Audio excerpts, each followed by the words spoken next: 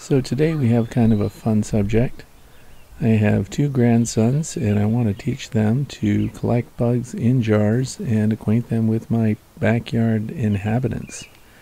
And this is a jar that I found called Recap Explore Bug Catcher and it has a flip top on it. It fits on mason jars, even the glass mason jars, but the jar that comes with it looks like a mason jar, but it's just plastic. Has this green removable handle, and the top already has the holes in it. So if you're like me, maybe when you were little, you grabbed a Smucker's jar or something and popped a couple holes in the top, or maybe even just put the top on loose, but the bugs often just died out from suffocation. It also has replaceable gaskets for the inside of it. So this thing's pretty cool. It's plastic. It is BPA free, so non-toxic. And uh, you can see the magnifying lid works pretty good here. Now, cautionary tale about magnifying lids. If you were like me when you were little and you first discovered magnifying glasses, you can use the sun to start a fire and burn things. So, little cautionary tale there. Um, it's pretty good. The top will actually come off if you want it to, including the magnifying part. Here's the label on the back so you can just get a good look at it. And the cap uh, glows in the dark too, so that's kind of interesting. And here it is the way I'm going to use it. And one of the things I want to collect, which is probably the most fun in the summertime, is not these Japanese beetles. Japanese beetles communicate through pheromone and they find each other and then like these two are doing they mate and make more japanese beetles that eat your plants what we're after is this little firefly also known as a lightning bug so you can find them during the day. They just cling to branches. This one is not eating this leaf. So those holes are from other bugs. And here's another curious insect. In other words there are bugs everywhere, and kids can have a great time just collecting them in their jar and bringing them home maybe for you to look at or give them an insect book so they can learn to look up and classify bugs themselves. And here we have some native pollinators, little wasps, and in the back you see the little sweat bee there, and this is on a plant called Queen Anne's lace.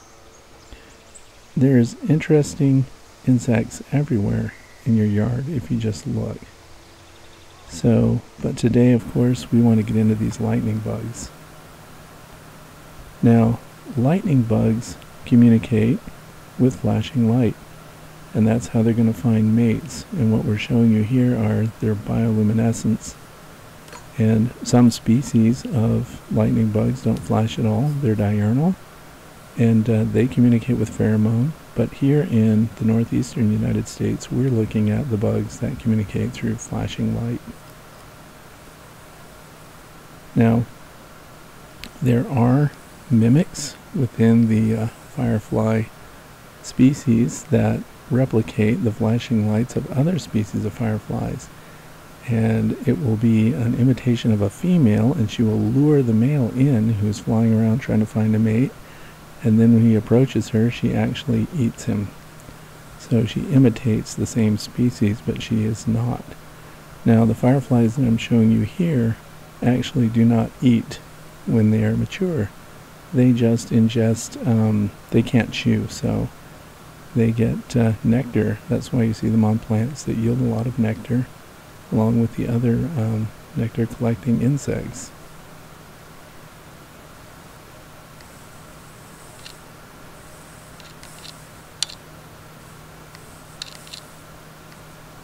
Now, they're very easy to collect.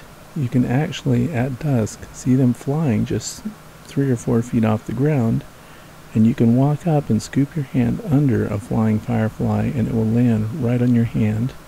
And then you can just flip the top open on your bug jar and toss it right in there.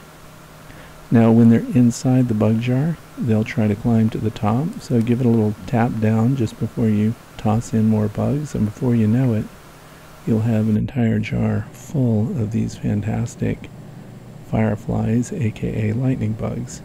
Now, one of the ways we know that these are the nocturnal species of firefly is the size of their eyes.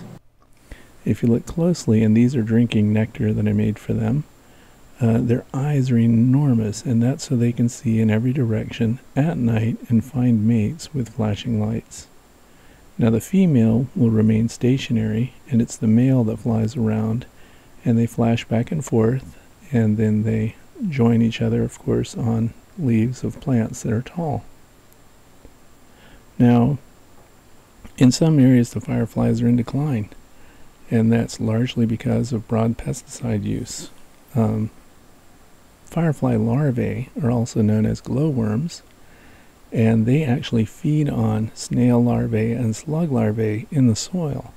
So when you're treating for those insects, when you're treating for snails and slugs and broadcasting pesticides into the soil, keep in mind that you're probably also killing off the beneficial species that would otherwise destroy them. And oh. here's my collection of fireflies sitting in my backyard.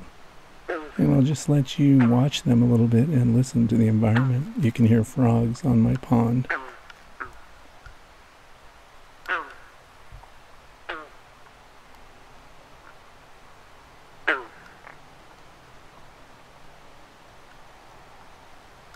Remember that fireflies, this species anyway, does not bite, so it's a great introduction to the insect world from kids, especially during the summertime. We are here in July, and the best time for you to go out and collect the fireflies is just at dusk when you can still see them flying around, and you can just go around and catch them in your hand. Of course, it's the males that are flying through the air, and you'll find the females on plants, and they'll sit as high up as they can go in the grasses and you'll see them flashing there and you can just scoop those up with your hand. They tend to just drop off of the leaves so you can hold your jar next to it and tap above the firefly and she'll just drop right into the jar.